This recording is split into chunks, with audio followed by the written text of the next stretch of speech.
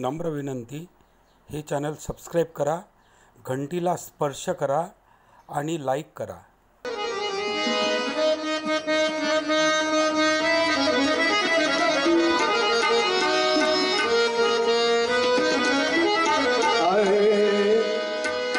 वह दिन कब आएगा भारत में? हम राह हम राह देखते